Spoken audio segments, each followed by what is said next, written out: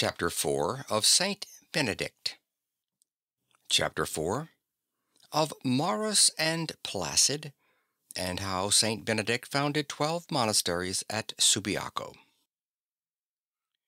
It was not to the old hermit life at Subiaco that Saint Benedict had returned. His fame had spread too far abroad for that. There were other monks in the valley beside those of Varia, men of a different stamp, seeking God in the simplicity of their hearts, but living under no particular rule, and with no definite aim in their religious life. For such men as these, when they came to put themselves under his guidance, Benedict had no refusal. There were others too, rough barbarians and simple dwellers in the valley, who, desiring to give themselves to God, were seeking for one to lead them in his ways. All these, like fatherless children, came thronging to Benedict, and thus was formed the nucleus of the order that was to regenerate the world. House after house was built, as the need arose for further accommodation, until there were twelve small monasteries under the saint's direction. At the head of each of them was a prior or abbot of his own choosing, who could have recourse to him in every difficulty. Benedict himself lived at the monastery of St. Clement's, with a few chosen monks who were to be the living embodiment of his ideals, and to whose spiritual formation he devoted himself unceasingly. Over this large family he ruled well and wisely, a living example to his monks of what their lives should be, and gaining the experience of men and matters that was to find expression later in the rule of his order. So did the wilderness begin to blossom as the rose, and as the fame of the monks of Subiaco began to spread abroad, men came from all parts of Italy to see the man who had done such wonders. The memory of the boy of noble name and nature who had fled from Rome to dedicate himself to God in the desert had not died out in the old capital, and many Romans went to Subiaco to see Benedict and ask his advice. Among them came a nobleman named Tertullus, who held the dignity of patrician and belonged probably to the same family as the saint. He was married to a good and fervent Christian like himself, and had four children whom he brought up in the love of God and charity to the poor. Arriving at Subiaco, clad in the magnificent robes of his office, his first action was to kneel down humbly at Benedict's feet, earnestly begging him to ask God to pardon him his sins. A warm friendship soon sprang up between these kindred souls, and before Tertullus left Subiaco, he had obtained a promise from Benedict to accept and bring up in the ways of God his eldest son, Placid, then seven years old. Another young disciple was also offered to the saint by Equitius, a Roman senator, in the person of his son, Maurus, a youth of riper years, remarkable already for his wisdom and purity of heart, and destined to be Benedict's greatest helper in the work which lay before him. To him Benedict revealed his hopes and his ideals, the foundation of an order which was to adapt monasticism to the Western world and to bring the barbarian nations within the fold of the Church.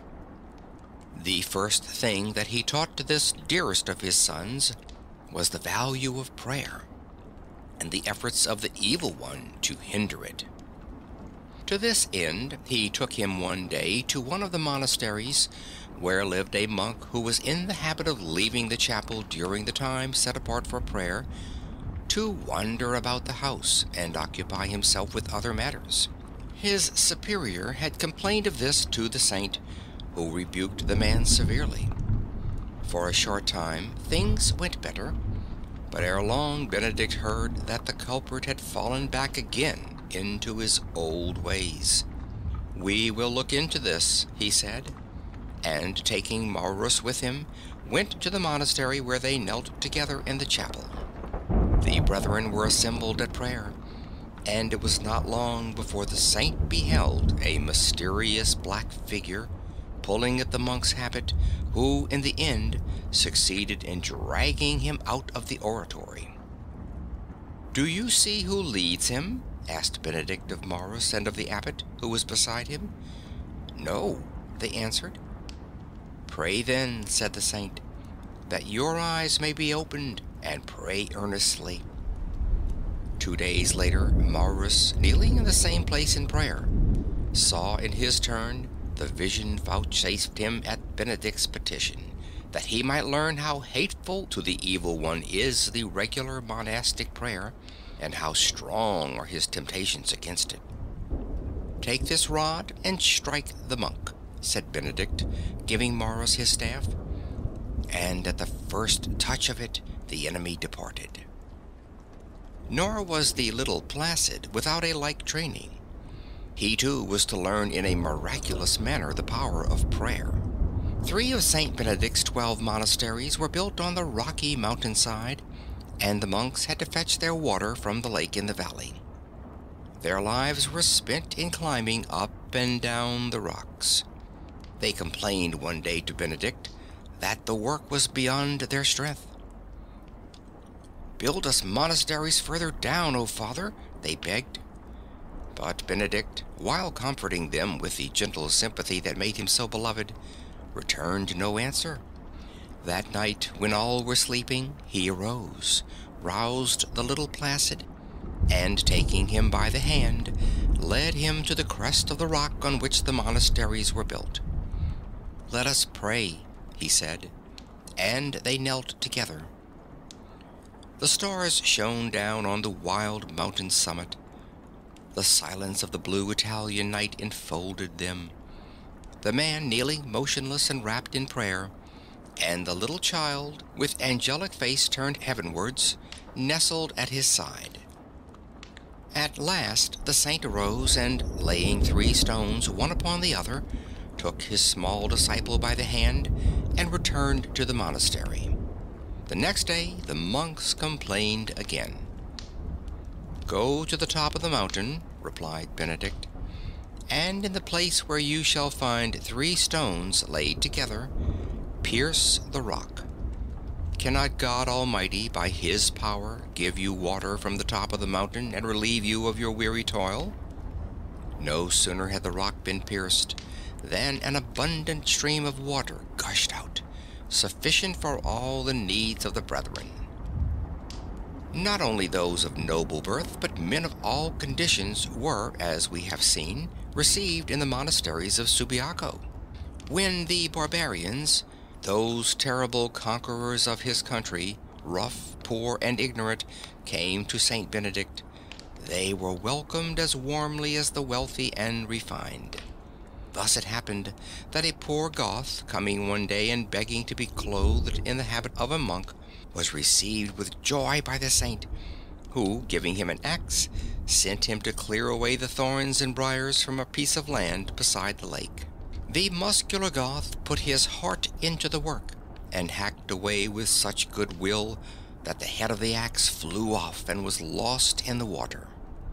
Horrified at what he had done, the poor barbarian ran up to the monastery, and falling at the feet of the first person he met, who happened to be Maurus, confessed his fault with many tears. His distress was reported to Benedict, who spoke to him kindly and went with him down to the lake. Taking the handle of the axe from the poor novice, he held it out over the water, when, to the awe and astonishment of the Goth, the head rose from the bottom of the lake and fastened itself in its place. Go now, my son, said Benedict, and work, and be sad no longer, for when monks work hard, tools are often spoilt or broken. God had already begun to reveal to Saint Benedict, as he was so often to do in later years, the danger that threatened those whom he loved. One day the little Placid, having gone down to the lake to draw water, overbalanced himself and fell in.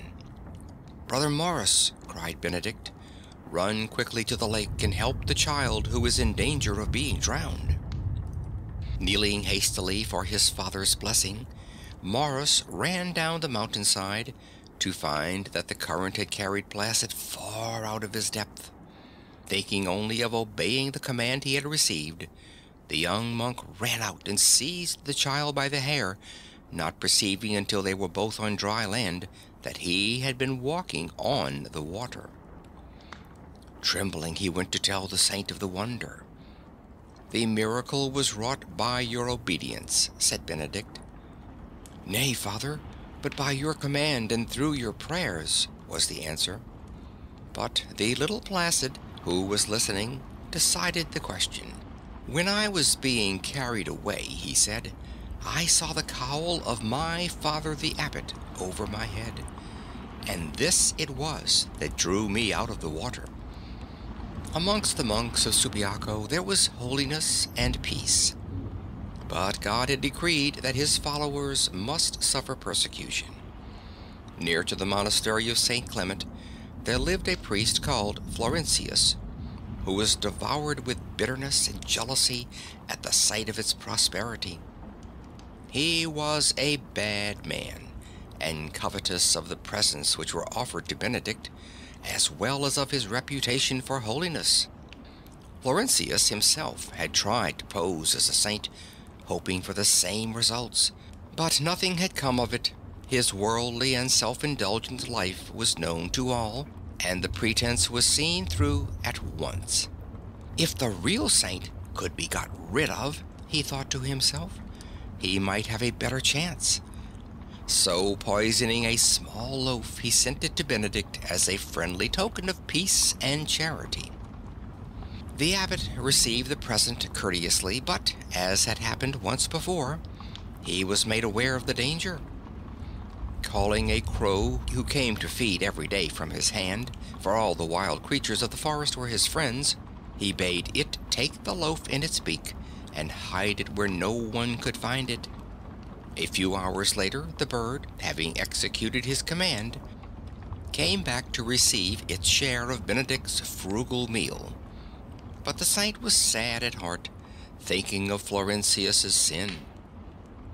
Disappointed in his attempt on Benedict's life, the unworthy priest conceived an infamous plan against the souls of the young monks under his care, sending women of evil life into the monastery garden to entice them from their work and prayers. That his beloved sons should suffer danger on his account was more than Benedict could bear.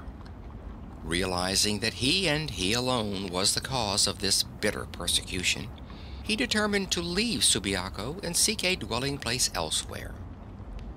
The hatred of Florentius, although it probably hastened his departure, was not his only motive. Assembling the brethren together, he made known to them that Christ had commanded him to go to Monte Cassino to destroy there the worship of idols. Since this is so, continued the saint, I must obey and depart. You then remain here and stand firm in the grace and the holy life of religion, knowing that as you remain steadfast in this world, so shall it be with you in the world to come. Then, having set all things in order, and taking with him a few monks, among whom were his dear disciples Maurus and Placid, he set out for Monte Cassino. Now the news that he had succeeded at last in driving out the saint reached the ears of Florentius, who, exulting greatly, climbed to the balcony of his house to watch the little procession departing. But his triumph was short-lived, for even as he stood there rejoicing, the balcony gave way, and the wicked priest was buried in its ruins. It was not long before the monks of St. Clement's heard what had happened, and one of them, running with all haste after their departing abbot, succeeded in overtaking the little company ten miles away from Subiaco. Come back, O father, he cried joyfully, for the priest, thine enemy, is dead. But Benedict, severely rebuking him for his joy, continued on his way, lamenting bitterly the evil death of Florentius. End of chapter 4